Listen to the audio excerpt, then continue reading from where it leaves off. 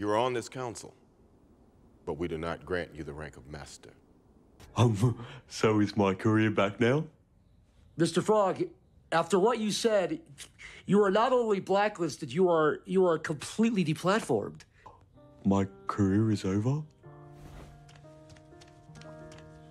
Maybe, maybe I should do what I was supposed to do in the beginning. Hello. Take a seat.